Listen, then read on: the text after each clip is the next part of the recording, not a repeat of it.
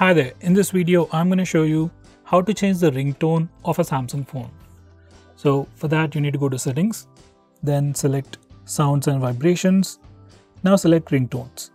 From here you can select any of these ringtones as the ringtone for your phone.